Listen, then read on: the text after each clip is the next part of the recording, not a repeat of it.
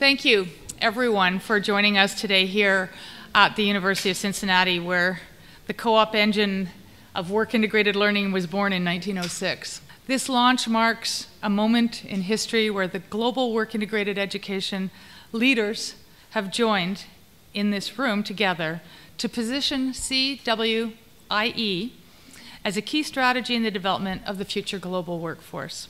We've been joined today by our interchange employer friends and by the heads of eight separate uh, national associations from around the world representing co op and work integrated education. Today, you take the lead in this work as an inaugural charter member. And to start that off, of course, I must start with the birthplace of cooperative education president, Dr. Neville Pinto from the University of Cincinnati. And on behalf of the presidents and universities, I'd like to thank you, Dr. Johnson, and the rest of the staff for being uh, so proactive in creating this charter, which I know will serve our students well. So thank you. Thank you very much, President Pinto. Much appreciated. Thank you. Dr. Norah McRae, Professor Arnold Van Zyl. And I also want to say that we're very proud of our relationship with DHBW, which goes back many, many years and is a, a, wonderful example, actually, of international cooperation around the field of cooperative education. The Australian Collaborative Education Network, otherwise known as ACEN.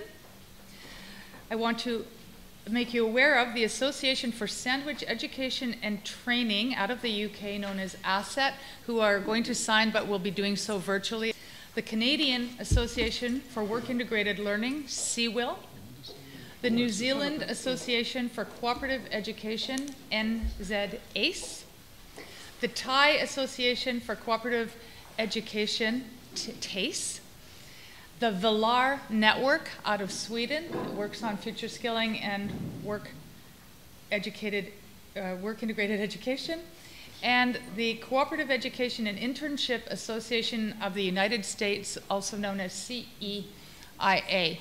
From Canada, representing Mount Royal University, Dr. Tim Rahilly, President. Elizabeth L., VP Teaching and Learning.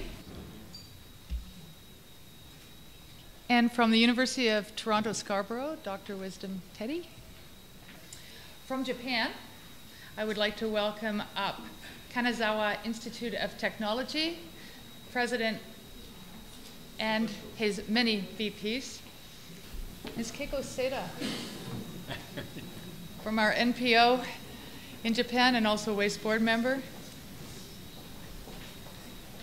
Now from Malaysia, Professor Malik from the University Utara, Malaysia.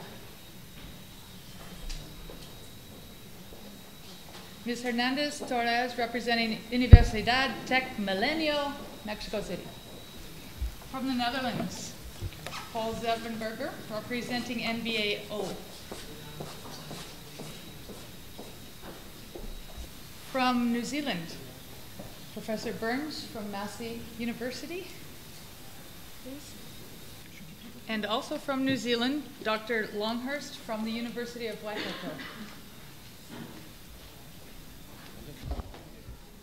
From South Africa, I'd like to ask uh, Professor and Principal Henk de Jager from the Central University of Technology to join us.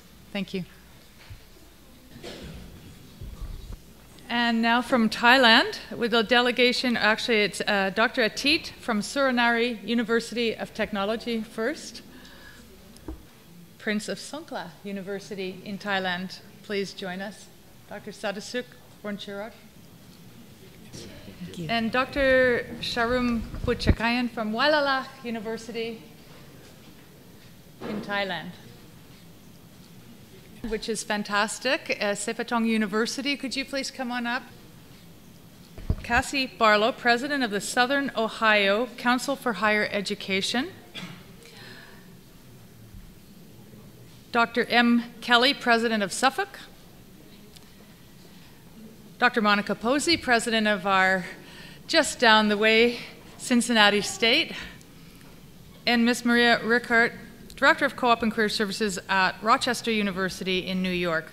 And I'd like to call up Dr. Nagy Naganathan, who is the president of Oregon Institute of Technology in Oregon, USA, as well as a longstanding WACE board member. Dr. David Rogers, president of SUNY Morrisville. Dr. Pat Sindel, professor representing President Chris Hopey from Merrimack University in Boston. Mr. Ian Sladen, VP Co-op and Career Development from Drexel University in Philadelphia. Jordan Vogel, VP Talent Initiatives on behalf of the Cincinnati Chamber of Commerce, who also wanted to be included. Like to thank you very much for joining us today. I, I, hope that this is the beginning of realizing many, many of the aspirational goals we have outlined in the Charter through the partnerships and the agreements and the, the true commitment to this model that has been demonstrated today and to raise this up and provide enormous numbers of quality, work integrated education experiences around this world for the up and coming next generation. Thank you.